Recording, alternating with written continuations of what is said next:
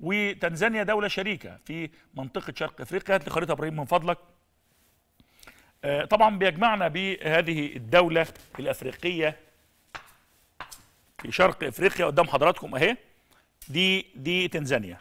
يعني دولة تنزانيا آه، على المحيط الأطلنطي قدام حضراتكم أهي. ال- الرئيسة في من الحتة دي المنطقة الصغيرة معرفش حضرتك شايفينها ولا لأ دي زنجبار.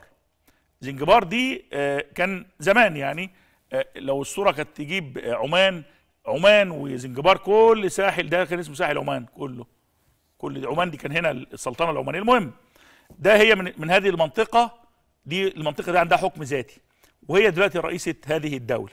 الدولة دي أهميتها إيه؟ بصوا على المحيط الهندي. خلاص. اتنين دي البحيرات العظمى دي بحيرة فيكتوريا اللي إحنا بنتكلم عليها.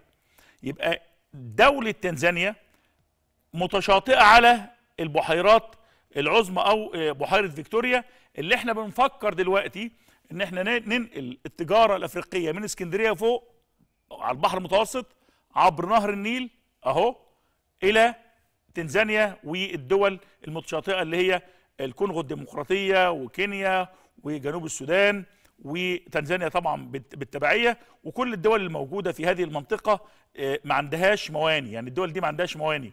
فلما كل تنطلق ال- الحركة آه، الملاحية النهرية من بحيرة فيكتوريا أكبر بحيرات إفريقيا ومن أكبر بحيرات العالم صوب الشمال تخترق كل هذه الدول وصولا إلى الإسكندرية. ده مشروع ضخم جدا.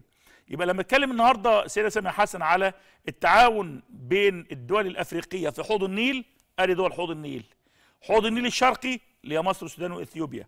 وأدي حوض النيل كلها وكمان منطقة شرق إفريقيا. كل ده شرق إفريقيا. ده القرن الافريقي طبعا الحتة دي. ودي شرق إفريقيا قدامنا بهذا الشكل.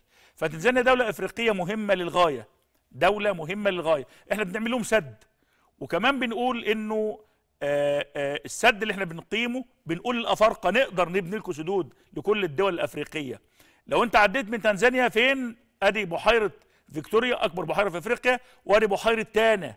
النقطة الزرقاء الصغيرة دي في أثيوبيا في في منطقة بحر دار على الحدود السودانية أو قدام حضراتكم بينها وبين السودان 20 كيلو.